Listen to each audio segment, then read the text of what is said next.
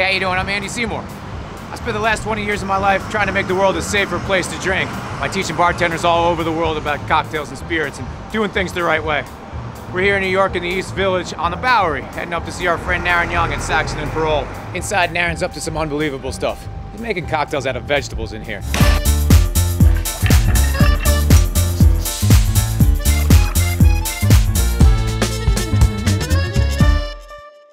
He is. What's happening, there? How's it going? Good to see you. You too. So we're going behind the drink. We want to check out this bell pepper cocktail that you're doing.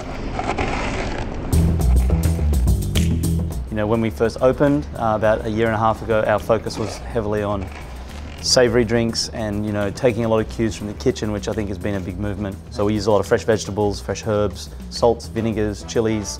Um, you know, a lot of these kind of things that you might more likely see uh, in food as opposed to cocktails. I don't think you don't see a lot of this going on in other bars. Is that kind of something you were trying to get to with this program? I just want you know people to you know think about ingredients in different ways that maybe they haven't before. So you might see things like bell pepper, red and yellow, cucumber, celery, carrots, beets.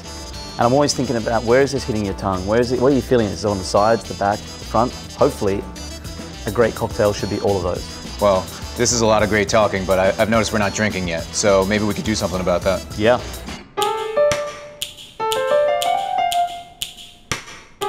I wanted a tequila cocktail to start, so we use a nice Blanco tequila from the Highlands, nice and spicy.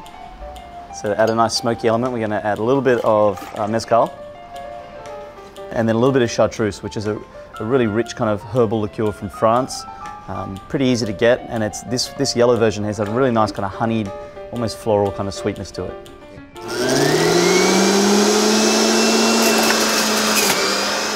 But then how do we balance that out and how do we make the drink a little bit more interesting? That's where the kind of idea of these other ingredients came in. So we have fresh yellow bell pepper juice, mm-hmm. so we squeeze here in house every day. So it adds a really nice kind of vegetal savory quality. You know, bell peppers, chilies, and kind of jalapeno, they work so beautifully with agave spirits. So that was a nice foundation which I knew would work. Wanted a little bit of spice, so we take it like a high proof vodka uh, and we infuse it. Here we use some dry Thai chilies. Uh, you could use jalapenos if you wanted some smokiness. You could use chipotles, you know, all sorts. You know, the, the world is your oyster in terms of what you could put in there. But this is what we use. Do you, do you want lots of spice or lots of flavor? A little bit of both? I think just a very subtle amount of spice is what you're after. I think it's important that it doesn't overpower the palate, which can do. Think of this like bartender salt and pepper. You know, so just a little drop will go a long way. Then we have some fresh lemon juice, a little bit of sugar, which will just balance out that, that citrus note. So the Bowery Fix also has some citrus salt.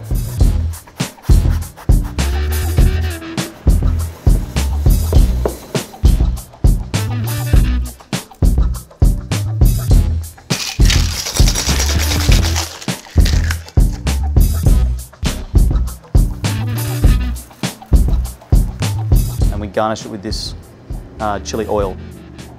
So this is essentially uh, olive oil with crushed red pepper flakes. So it takes on a little bit of heat, but this is more there just for the beauty of the drink. You know, we drop it on top, looks a bit like a Jackson Pollock kind of painting, and people dig it.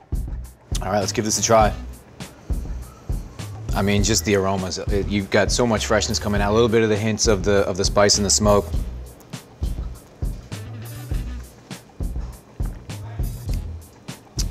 Delicious. The vegetal notes from the pepper, smoke from the mezcal. You get the heat from the pepper, but it's not overpowering at all. Mm-hmm. Citrus kind of smooths it all out. You get that little bit of sweetness. I mean, to me, with a cocktail, you want balance, you want texture, and I've got perfect balance and tons of texture. Right. I mean, to me, that's a great big bag of delicious right there. Awesome.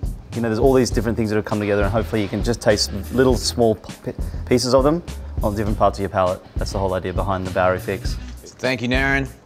So if you're here in New York, you got to come on down to Saxon Parole and try this drink. If you're not in New York, maybe you should just try this one. What do you say?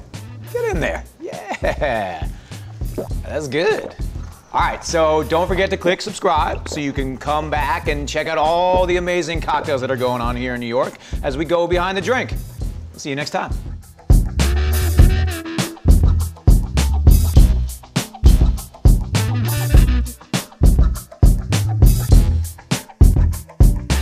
Brits like their toast like we like our commenters salty.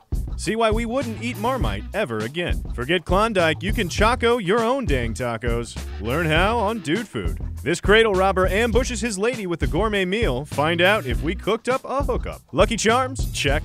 Nutella? Check. Banana? Sure. Why not? Make this recipe because it's a real serial killer. Subscribe for more free tasted treats.